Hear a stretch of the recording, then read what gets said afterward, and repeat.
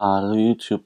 Ich möchte mit euch heute wieder über ein Thema sprechen, welches so ziemlich ähm, an die Real Talk Videos äh, angelehnt ist, die ich schon vor einiger Zeit gemacht habe. Und zwar soll es heute um das Thema Updates bei Smartphones gehen. Ja, was kann ich, also was ich dazu sagen kann, ist, ähm, dass zum Beispiel bei iOS, da ist es ja ganz gut geregelt. Es gibt nur einen ähm, Hersteller für iPhones und dementsprechend gibt es auch eine gute Update-Unterstützung für die iPhones und iPads und so weiter. Aber hier soll es erstmal primär um die Smartphones gehen, wobei das für Tablets auch zutrifft, aber das könnt ihr dann adaptieren. Ähm, zurück zum Thema. Es gibt nur einen äh, Hersteller und das ist Apple. Und der produziert eben die iPhones und iPads. Und gut ist. Und dann kann man da, kann äh, äh, Apple auch gut äh, hergehen und sagen, ähm, sie passen die, äh, die Updates und so, die Funktionen eben an die Geräte an. Und dementsprechend gibt es auch eine ähm, einigermaßen gute Unterstützung für die iPhones in Bezug auf die Updates. Denn wenn man mal schaut, iOS 12 bekommen alle alle Geräte, die auch iOS 11 schon bekommen haben. Und das geht zurück bis, ich glaube, 2013 bis zum iPhone 5S und dem iPhone SE. Und bei Android ist es eben die, ich sag mal, ähm, das Problem, dass äh, es verschiedene Hersteller gibt, und zwar zig, äh, zig Hersteller, die ähm, Geräte produzieren mit Android und ähm, dadurch eben auch ewig brauchen für die Updates und Sicherheitsupdates und alles. Und da liegt eben das Problem.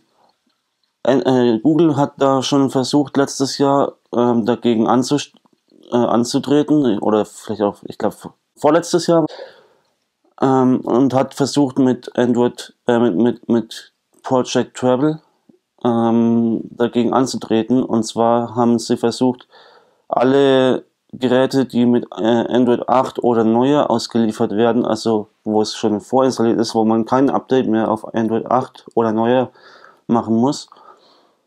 Also mindestens auf äh, Android 8 äh, müssen sie bei Auslieferungszustand haben, ähm, dass da die Updates eben schneller kommen müssen und auch schneller kommen könnten durch ähm, dadurch, dass sie den Kernel irgendwie anpassen, dass die Hersteller nur noch die Oberfläche quasi anpassen müssen. Funktioniert bisher relativ mh, hm, suboptimal. Zudem gibt es auch viele Hersteller, die einfach nicht auf Project Travel äh, aufspringen oder das nicht so umsetzen, wie es Google eben gerne wollte. Und dadurch gibt es halt eben immer noch Android-Smartphones von 2008 18, die mit Android 8 ausgeliefert werden, obwohl schon seit 2018, äh 2017 Ende sogar schon ähm, Android 9 rausgekommen, also obwohl es seitdem schon Android 9 gibt. Und es gibt einfach immer noch viel zu wenig ähm, Smartphones mit Android 9 und bei den Tablets ist es sogar noch schlimmer, bei den Android Tablets. Da gibt es einfach so gut wie gar keinen ähm, Android-Tablet, das schon mit Android 9, geschweige denn Android 8 läuft. Das letzte, das ich in der Hand hatte, mit was liefen das? Äh, ich glaube Android 6 maximal. Und das war letztes Jahr, Ende letztes Jahr oder so. Ähm, auf jeden Fall gibt es da einfach noch viel, sehr viel Nachholbedarf.